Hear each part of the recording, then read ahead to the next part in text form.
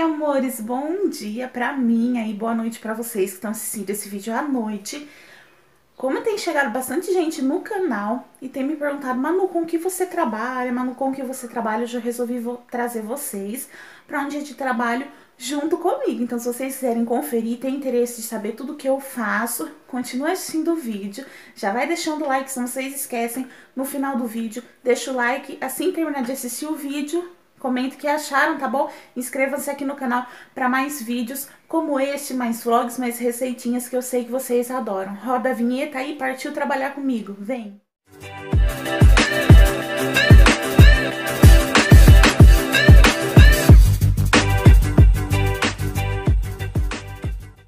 Então, gente, para quem me pergunta, eu sou auxiliar numa lanchonete, que é essa lanchonete aqui, ó, Capitão Coxinha, tá?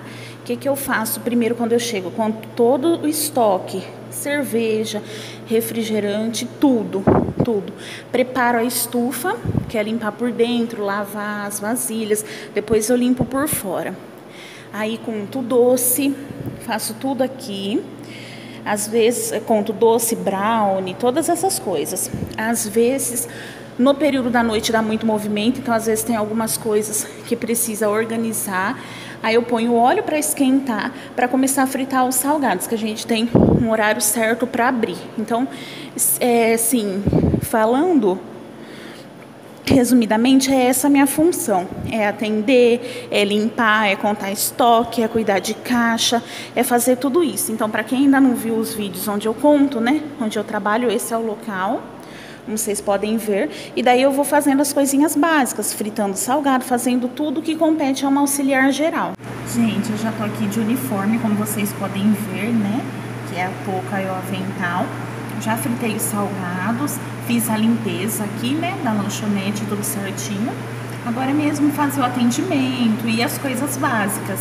Esse, assim, o resumo básico mesmo do que eu faço no meu trabalho. Gente, não sei como tá o sonho para vocês, mas o expediente está quase terminando. Já fiz a minha refeição, trouxe arroz estrogonofe que eu fiz ontem, que vocês acompanharam no vlog, nos vlogs anteriores aí, eu fazendo estrogonofe. E já falta mais ou menos uma horinha para terminar o expediente.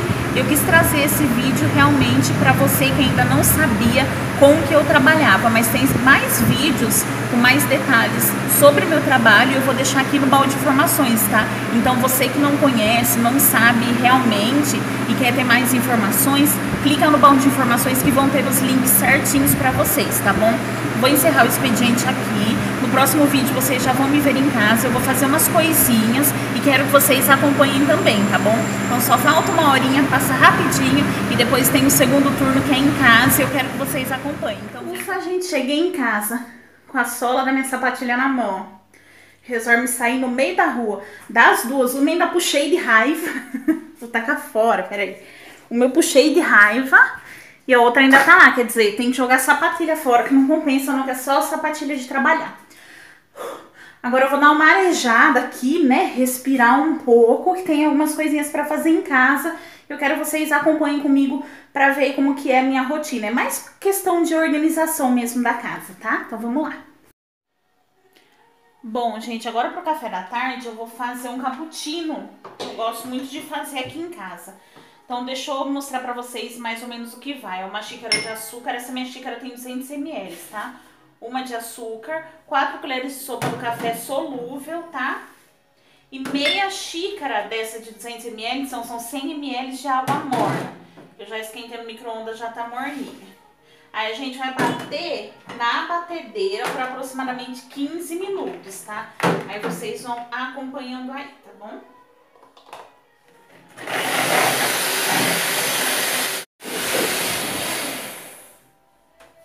Olha, gente, a consistência disso, olha isso, tá vendo? Aí agora eu coloco duas colheres de sopa, ó, de achocolatado, pode ser qualquer um. E uma colher de sopa de canela, até duas, mas você põe... Eu pus uma porque eu não tenho mais em casa. Aí a gente bate mais um pouco, tá? Aí eu coloco um tapoer, gente, alguma coisa assim, ó.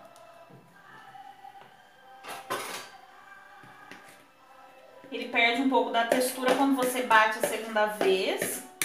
Mas aí você leva pro freezer rapidamente, deixa dar uma endurecida e adiciona no leite quente, fica uma delícia, gente. Sempre faço aqui. Agora eu vou dar uma geralzinha no chãozinho da cozinha, passar um paninho e manter a limpeza de sempre, né, gente?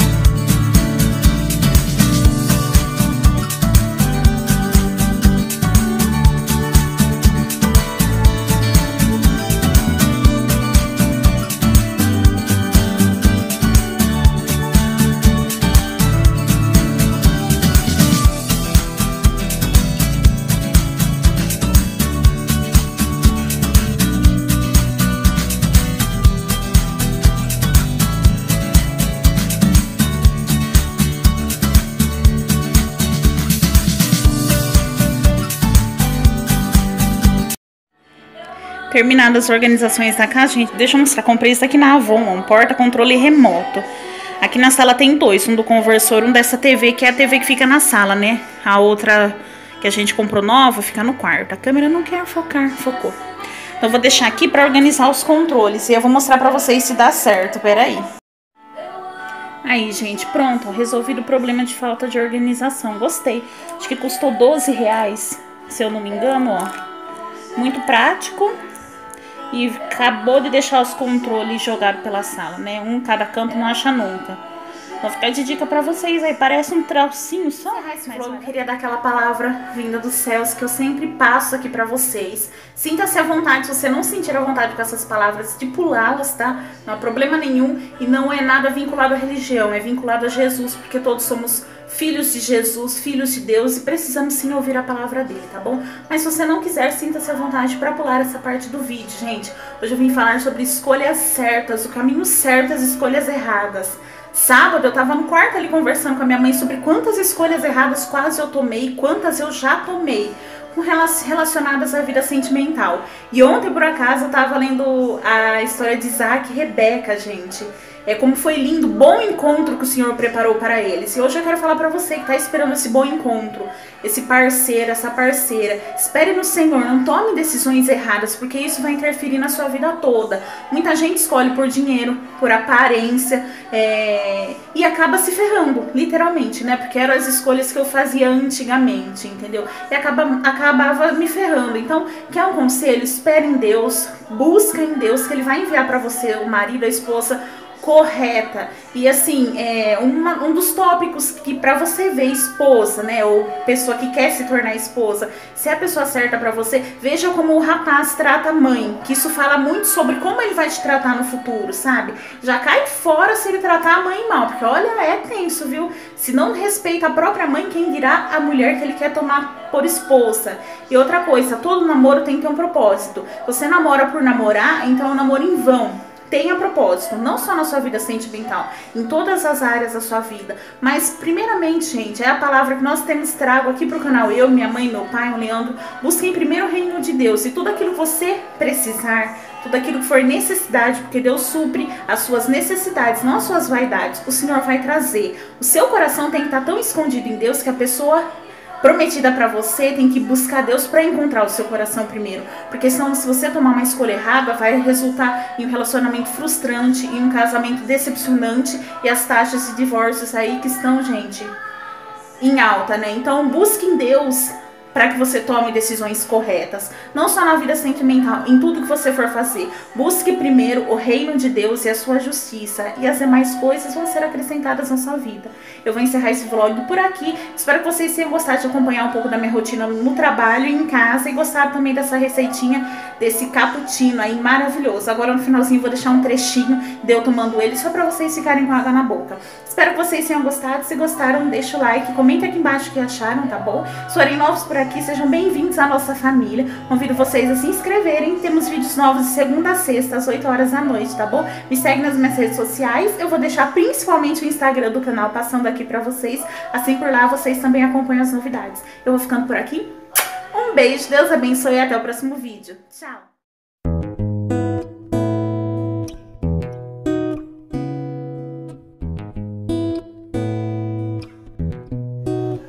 Gente, eu sei que já encerrei o vídeo. Hum, vocês precisam fazer esse cappuccino em casa. Sério, é muito bom. Ficar no freezer, não estrague, ó.